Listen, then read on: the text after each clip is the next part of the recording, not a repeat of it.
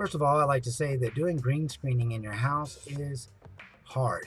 If you do not get the wrinkles out, it is hard to key it out.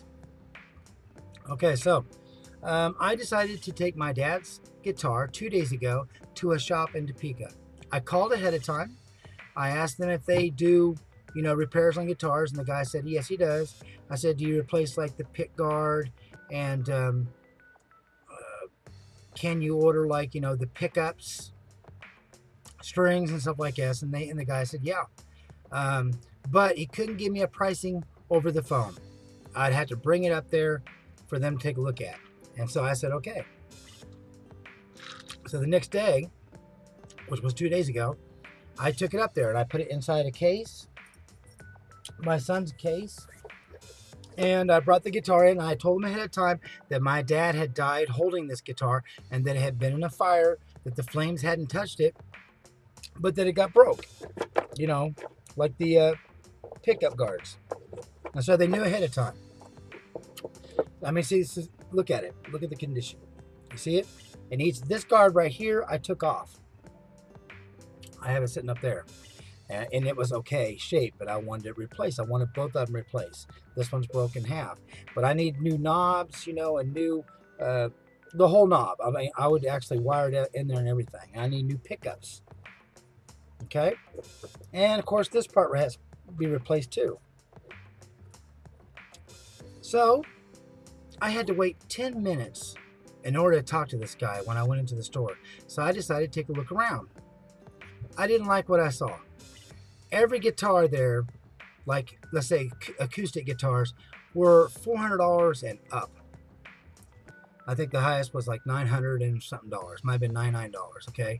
Then the electric guitars, I did see a few of them. There was like 150 and and then some of them were uh, 200 something, but then the rest of them were, you know, like I said, 400 and up and the amps. The amps were like expensive just to starting out and they were like you know 1200 and 1700 you know and i'm going like okay this is not good. With prices like this chances are they're not going to want to deal with this kind of guitar. And it's embarrassing to take your guitar into a shop to ask somebody. That's the reason why i've waited this long to do it okay? So uh, finally the guy came to talk to me and I said, I'm the one that called you yesterday.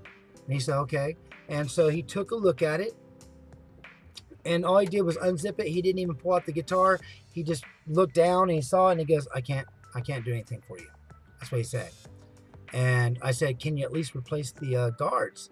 And he goes, No, I can't. And then he turned around, and the rest of the time that he was talking to me, his back was to my face.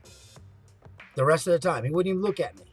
And I said, Well, can you get the pickups? You know, uh, do you know where I can get those or can you order them? And he goes, I don't know. He goes, I'm sorry, I can't help you. And then I said, Well, do you know any other repair shops, guitar repair shops here in Topeka?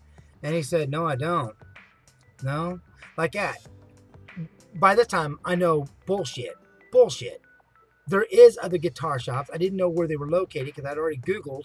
And you're trying to tell me you have a shop has been there for a couple years and you don't know where other repair shops are in your own town? Bullshit. Bullshit. So he said he couldn't help me on anything on it.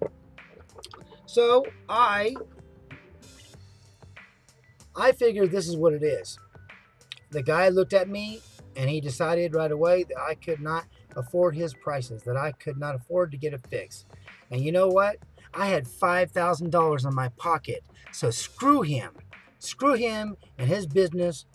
It pissed me off when I left there. I was so humiliated, uh, embarrassed. Um, I was mad, you know, because you're going to tell me that you can fix all these things. And then when I go in the store, you can't help me. You can't do anything. So screw him. He missed out on the money. And I decided now that I'm going to fix the guitar. Just like I do everything else. I do the electricity, I do the plumbing, I do all these things. I do not call anybody to help me. I did call one time electrician because I needed 220 on the house. I did that and the guy was reasonable. It was only 100 bucks. But everything else, you know, mechanics and all this stuff, I do all the work myself on everything, and I sit there and I read books and I learn. And then in this, in this case, uh, I am going to have to look up the electronic part of it, you know, the electricity and, and soldering, the wiring. But Uh, I already bought, you know, the stripper to strip it, and I figured out the guard, you know, uh, what the guy used actually was plexiglass. Not until I took it off did I realize it was not pick guard material. It's ex- it's actually plexiglass. So I went and got that today at the lumberyard.